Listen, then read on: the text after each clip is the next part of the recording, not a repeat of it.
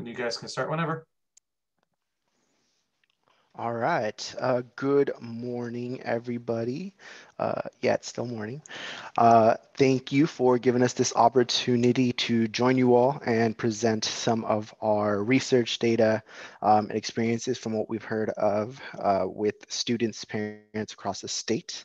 Uh, today, we'll be sharing some of our content and research from our Crisis to Opportunity campaign, where we talk about how to center students' experiences to and through their educational career. Um, and this is particularly special uh, and needed during the times we're living through today. Uh, so I will pause right there and allow ourselves to introduce our, ourselves. And, and Dr. Ramirez, I'll turn it over to you. Hmm, thank you, Manny. Um, so my name is uh, Carolina or Carolina. Um, I go by either, and I want to start uh, just sharing a little bit about my own background. I'm a first generation college student, and I'm also a proud product of uh, California public education. Um, my role with Education Trust West is uh, I'm a research and data analyst, and I support our uh, research and data efforts.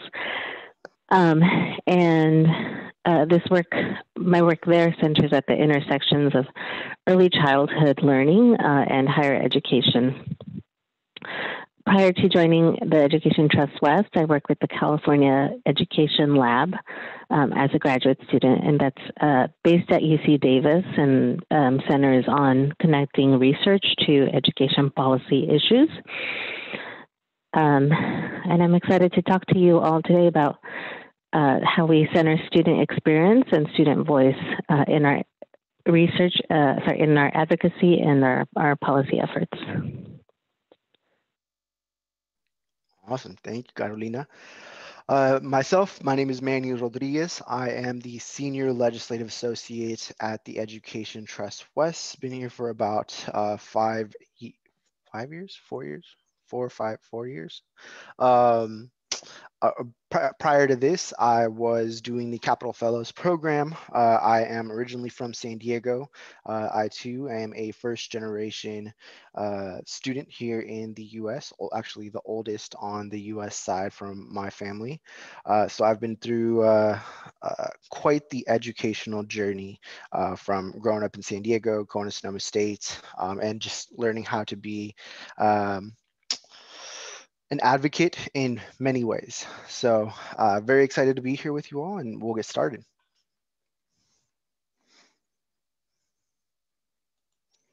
Next, yeah. Awesome. So uh, before we get started, just want to share a little bit about who ETW is. So EdTrust West is an educational a nonprofit ed, uh, equity organization focused on educational justice and closing opportunity gaps through research, data, policy analysis, and advocacy. Uh, some of our big areas we look to influence change through are changing policy, changing practice, changing narrative. Um, we work from the early child care education space through higher education. Um, and we have a very uh, focus, a, a, big focus on racial equity, educational justice uh, for uh, students in our education system.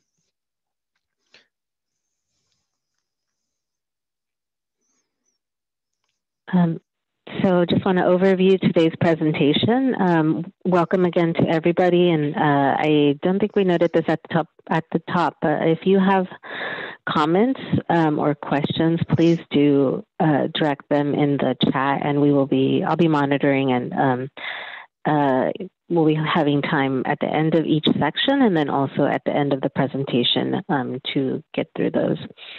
Um, so as Manny shared, we're going to be sharing our crisis uh, from crisis to opportunity work that came out of the uh, distance learning and, and pandemic um, crises, uh, and then also sharing sharing the Hear My Voice um, study, which we ran uh, shortly before um, shortly before the school closures.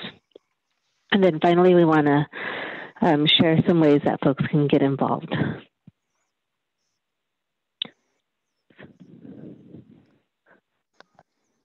Thank you, Carolina.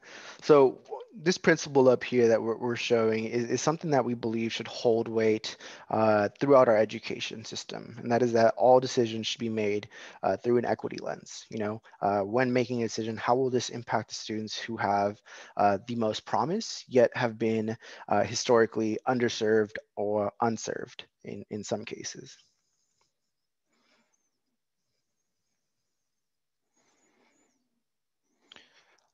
So as ETW thought through, uh, you know, one got adjusted to uh, the radical change that came in March and thought through how do we maneuver this crisis um, into, uh, you know, opportunity to still have equity focused student focused conversations and how to advance that. Uh, we outlined three primary themes as you, as you can see above. Uh, so the first being that we need strong leadership from the top while also uh, balancing local decision making and allowing those at the local level who are closest to students to families uh, to have some flexibility uh, what resources uh, should be targeted, prioritized to communities who were already underserved uh, and facing and are now facing more challenges uh, since this pandemic is, is exacerbating those from what we've heard from the field, from students through our polls and through countless polls we've heard. And lastly, the decisions we make during this crisis should continue our movement towards the dismantling of inequitable systems.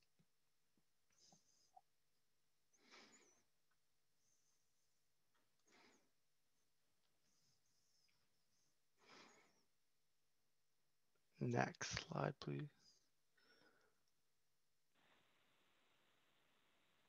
Thank you.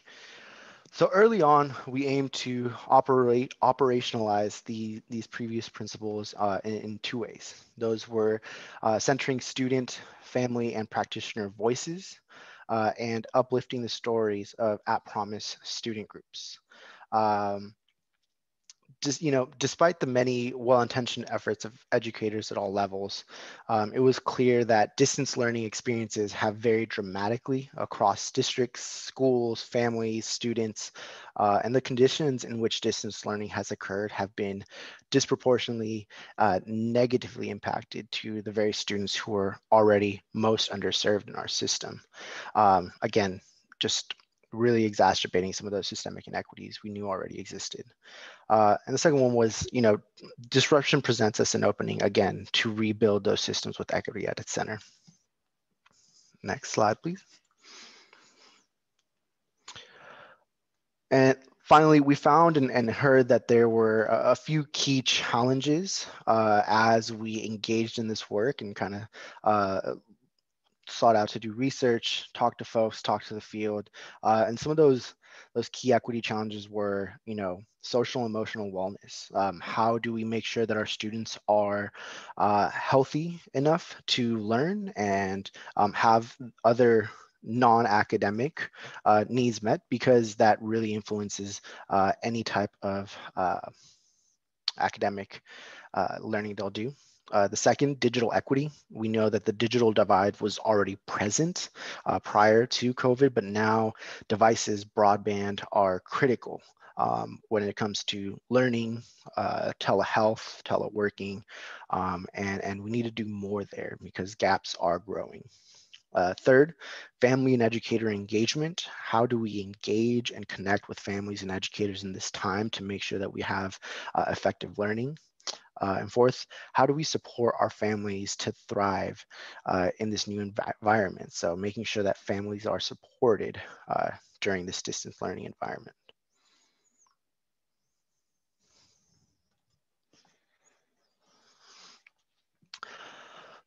And again, uh, one of those principles that we throughout this process, throughout this uh, time has, has been that no student should be punished for a crisis that is out of their control, beyond their control. Uh, and we need to meet them where they're at to make sure that uh, they have all the support resources um, needed to make sure that they can uh, effectively move through this. Uh, so what are our education equity recommendations coming from uh, the research, uh, the surveys, polling, uh, everything we've done uh, from the from crisis to opportunity campaign? Um, so the primary ones, are, or, two of the main ones that I want to uh, kind of acknowledge here are support to address academic needs. You know, um, how do we expedite and make sure that uh, we support the transition of services such as mental health, tutoring, advising into a remote or digital world? Um, how do we measure the digital divide and find both short-term and long-term ways to address this gap? Um, and how do we, you know, use that to re-engage students? We need to have clear lines of communication between administrators, faculty, staff, students, and families uh, to make sure that they're all uh, working in a uh, effective uh, education ecosystem. Um, and lastly, how do we develop a robust distance learning plan which engages students where they're at and make sure that we can support them based on what they're going through right now. The second set of recommendations that we wanted to, to elevate and we're, we're working towards is supporting uh, support to address financial needs. Uh, so what this means is outside of just educational uh, challenges and, and gaps that they're facing, we know that uh, many of these students, many of these families are also experiencing um, basic needs insecurities. So uh, food and housing insecurities. So how do we invest in those support services, whether that is food pantries, whether that is um, kind of uh, picking up lunches from school, uh, the pandemic EBT program, PEBT ran by the Department of Social Services. Um, how do we partner with community-based organizations to provide these resources and services, again, to make sure that we're meeting the most kind of basic of needs so that they can attempt to be ready just to learn.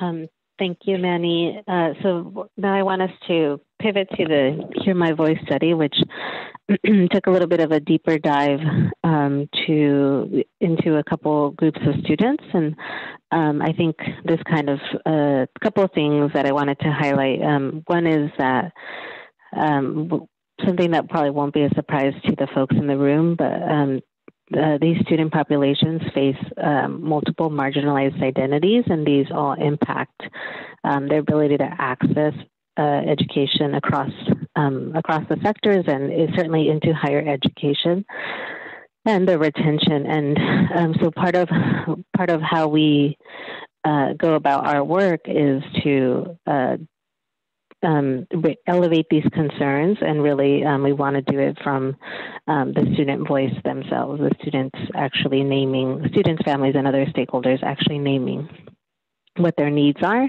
um, and how uh, education systems can better support them. Okay.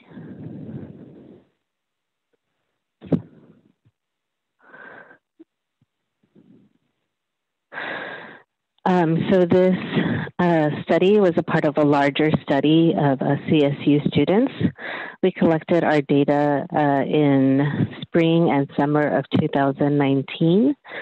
Um, these were mostly interviews done on campus, um, on the various uh, campuses that folks attended. We also had some um, on the phone. Um, and I will uh, let participants speak. We have some audio. I'll let participants speak for themselves in a little bit. A little bit of context. Um, so these populations are really uh, ubiquitous and they've been um, a part of the student population for a long time. At the same time, it's they're not centered in in um, in the classroom um, in the way that you know classrooms are structured and the types of things, the types of um, expectations that professors may have for their students, um, nor in the wider uh, campus community. Um, 12% of undergraduates at the CSU are unhoused, and uh, nearly a quarter of California's undergraduates are parents. Um, and so the CSU recently launched the Graduation Initiative uh, 2025, and we saw this as an opportunity to push the CSU um, to uh, really focus on um, not only all students, but um, really drill down and, and, provide some specific supports for uh, student parents and unhoused parents, unhoused students. Okay, uh, so I'll play some audio for us. What help they need in order to succeed. So I ended up double majoring. It was a really tough decision. Okay, here.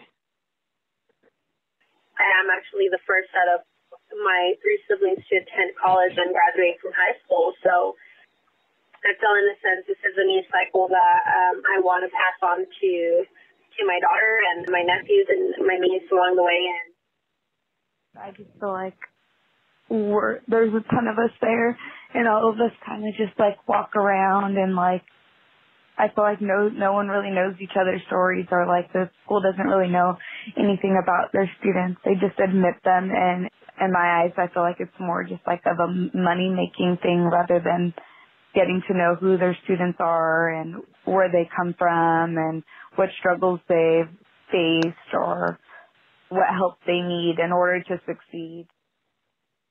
So I ended up double majoring. It was a really tough decision between do I want to get out of here and just find a job? Or do I really want to pursue my passion and find something for me as an individual, right? Because I'm a parent and I want to be the best parent and I want to provide financially for my child. But at the same time, at an individual level, I want to grow. I want to really fulfill all my educational goals, dreams. Um, a little more about um, the uh, criteria that we used for uh, the inclusion criteria we used for the study. Um, so folks were between the ages of um, 18 and 40 for unhoused students and 18 and 50 uh, for parents. Um, and they had to be unhoused at the time of the interview. It is, I know it's a moving target, but that's that's the framework that we used for the study. Um, and primary takers, primary caretakers for at least uh, one child um, under the age of 14 um, at the time of the study.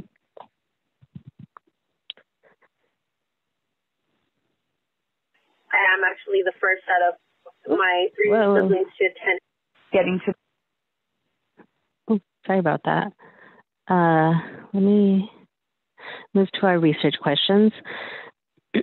so um, we were getting back to kind of this idea that folks are facing um, multiple multiple identities and um, can be marginalized in different ways. We really wanted to focus on um, folks' motivation and their um, dedication to pursuing a degree. Um, we were, you know, we just wanted to know what keeps folks going uh, personally. And then the second research question is what kinds of resources are available to them, um, what institutional resources at the campus system or um, community level um, that were helping them stay connected to school. Uh, and so here are some of our findings. Um, so uh, more support is needed that specifically addresses housing and childcare needs. Um, so to that point, we some many of the campus many of the campuses did offer childcare, but the they are not specifically meant for students. They're available to the community and staff and, and faculty members, um, and they have long wait lists. Uh, and private care, private care in the community is uh, was prohibitively expensive for lots of folks. So often this led to a situation where student parents uh, might have um, care for class time, but not care for um, study time. So they were completing assignments and um, taking tests at home um, while also simultaneously caring for children. Uh, and I will play a short audio clip um, that helps illustrate what this experience is like. I actually asked, can we have evening daycare or, you know, late daycare? Because daycare ends at five He's like, yeah, it's just that it's it's harder because there's a lot of policies and ethical issues and all this stuff. And I was like, okay, well, I always thought I'm like, but it's possible. It might just be too expensive for you all, meaning that at this point you're picking and choosing which students you want to help the most because on one I had a little I guess trouble like with their childcare because they didn't they wouldn't accept him because he has autism. So um, at first they have said they couldn't accept him because they didn't have the staff, and then they said they're going to call me back. And I tried for two years, and they would just, would just never get in. So it was really hard, like to come to school. And at first I was commuting. Last time I checked, I believe there was a wait list for it. So that kind of discouraged me from even trying it out because I wasn't sure how long that wait list was going to be there for. And when you need a child care provider or like just child care um, for your child, it's because you kind of need it urgently. It's not something that you could just wait on. What we came up with is uh, providing free diapers for any student in the children's closet. Okay. Um, and related to oh, have evening day. Sorry. Okay. Um, so uh, related to uh, housing services, um, services might be available, were available on many of the campuses, um, but these were uh, poorly advertised and uh, more more importantly to students, um, they were often too limited. So um, although we were looking at student parents and unhoused students separately.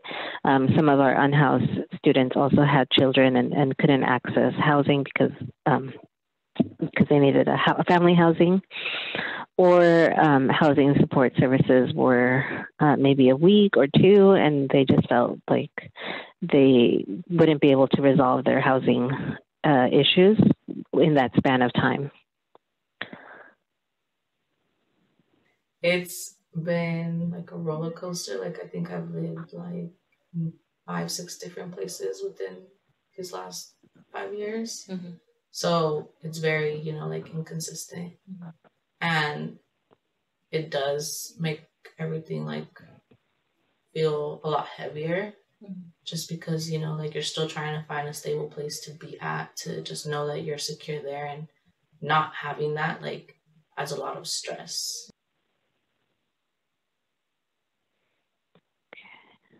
It's been Okay, uh, and then another another theme we found is um, the stigma and the lack of visibility for these two populations. Um, so, for student parents, um, faculty members didn't account for the fact that their students might have um, caretaker responsibilities. Uh, so, you know, you still had they were the students were still um, held to the same kind of um, attendance policies that another student without caretaker responsibility was held to. Um, and there was just little clarity about whether they could bring um, kids on campus or, or into the class, uh, which would have um, sort of alleviated some of the last minute or um, uh, some of the gaps in childcare. Um, and unhoused students, um, one of the things that they named was that professors assumed that they would have access to the technology and workspace uh, to complete their work, you know, once campus closed, and that wasn't the case for many of the folks we spoke to. Like they had to be um, in the library or on campus in order to be able to access technology and um, and uh, the, the technology and just kind of a quiet space. Um, and the women we spoke to were reluctant to disclose their identities. Um, they were um, sort of aware of these kind of negative stereotypes associated with um, being unhoused or, or, being a student parent, and, and, they were afraid that they would be uh, thought of as less dedicated um, students. Um, another thing that came out is part of what was driving uh, the burden, the cost burden um, of attending college and staying in college was not related to tuition at all, but reflected um, the house to, the the cost of housing in California and also the cost of raising a family. Uh, and the women we spoke to were employed in uh, low paying or minimum wage jobs with variable hours and that that put them in the position of having to decide do I you know do overtime so I can cover my family and my own living expenses, or do I um, prioritize school and and take out loans, or have some sort of a um, have to make kind of big adjustments in my uh, basic living um, uh, security. Um, so relatedly, um, although we did, we expected to find housing insecurity and other basic needs insecurity, we were surprised um, with the degree to which our participants um, face food insecurity and base and, and housing insecurity. Um, and they shared that they were often most easily able to access fo- food security resources on campus. Um, but as far as having some of their other needs met, it involved a lot of self advocacy, a lot of um, time kind of searching around, a lot of tapping into their own personal networks in order to um, be able to access uh, things like um, public benefits from the county. Alrighty. Thank you, Carolina, for that uh, overview of the report. Um, and we hope that some of that data, research, and student experiences uh, speak to some of you and the students you engage with on a daily basis uh, as they move through the into the post-secondary institutions. Uh, with this report, of course, we have some key recommendations for policymakers and for um, institution leaders on how to support, uh, best support uh, these students. Uh, so the first one is improve and increase access to existing resources targeting uh, parenting and unhoused students. So two things I just want to elevate here is, is that the first, uh, in, in this research, we found that 18 of 23 CSU campuses uh, did have uh, child care centers, two of which are affiliated with Head Start. Uh, but due to some data limitations, it was unclear how many CSU parents were currently being served uh, by those on-campus childcare. Uh, we estimated uh, through through some work that meeting the needs of student parents with children under the age of six years old uh, would require the CSU to have capacity for about uh, 27, 28,000 children. Um, so one of the ways they can do that is, is really um, making sure that the CSU partners with Head Start uh, to expand access. Uh, another thing I'll point out is that uh, the Success for Homeless Youth in Higher Education Act requires the CSU campuses to designate some sort of financial aid staff member to serve as the homeless and foster youth uh, liaison who can connect students with campus, state, local, federal resources. Uh, we recommend that this be a standalone position for these students and that this liaison uh, really be dedicated full time to make sure that um, that there's those resources are readily accessible.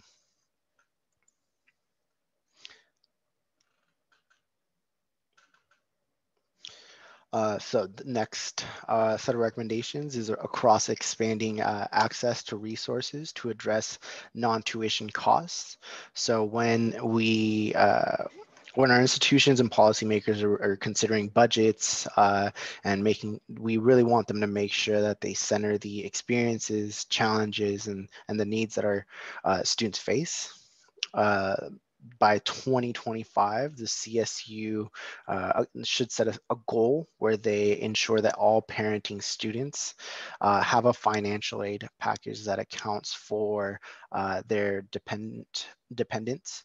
Um, this is uh, something very important as California once again aims to reform the financial aid system in this coming legislative session. Uh, and the third one, of course, by 2025, we really hope that the CSU uh, builds out sufficient housing units to house 20% uh, of their student body. Uh, in addition, uh, we really hope the system should provide guidance to campuses on how to prioritize making those new units available to our students that are, are facing the most um, housing housing insecurity. Uh, finally, uh, the final recommendation is around how do we use data to improve, improve services uh, for parenting and unhoused students. Uh, so we do have an audio we'll play shortly. There you go.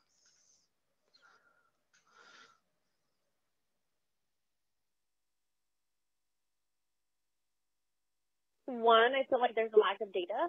I don't think anybody has really put the effort to collect um, numbers to really figure out like you know what what is the population of student parents is in whether it's community college or um, you know higher education.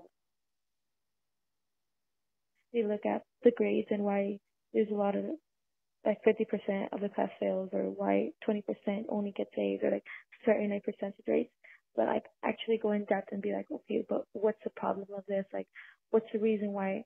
Is it the students? Is it the teachers? Is it the way they're being taught? Is it the way it's being presented? Like, why aren't the students graduating at a four or five year rate instead of a six, eight rate? We have to do more studies and research on, or what are we missing to tell these students to, you know, like make the process smoother.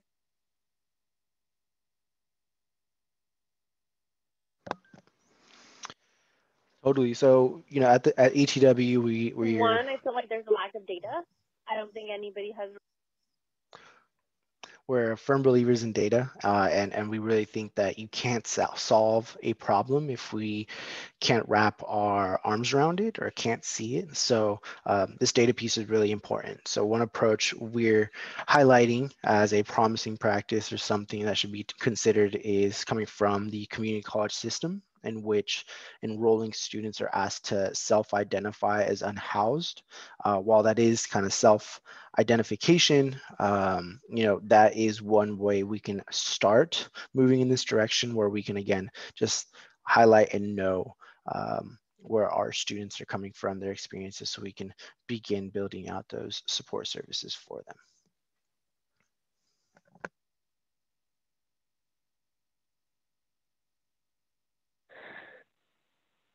So finally, we want to um, invite folks to check out our report um, and the accompanying materials and uh, join us. Um, we have been engaged in a camp in an advocacy campaign at the CSU with the CSU's Board of Trustees. Um, we really want to be able to um, elevate the findings and the recommendations in this report um, to the system and have some change uh, that isn't just, you know, um, based on the uh, willingness of, of, a campus leader. Um, and uh, so we can invite folks who are uh, interested in partnering with us to definitely reach out. Um, and I'll I'll show our contact information shortly. Um, but finally, I want to uh, invite us to take some time to uh, think through this question um, that we have on the slide um, and share out in the chat. Um, and I also want to know I didn't um, invite folks to ask questions. I'm, I'm, monitoring the chat and we haven't had anything come through. So this is definitely uh, the time to ask any questions you might have.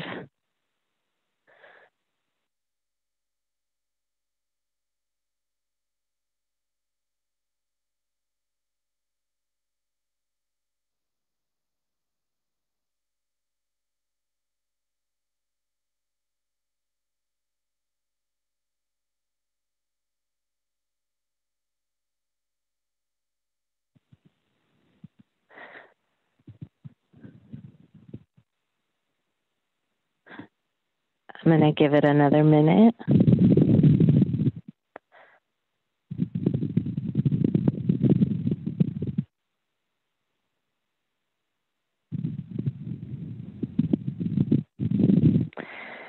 Um, well, I will share our uh, Manny and Maya's contact information. Um, um, we just want to thank you all for joining us uh, in this conversation today, and we hope that this uh, information was helpful to you and that you can um, take this back to your uh, organizations and your communities.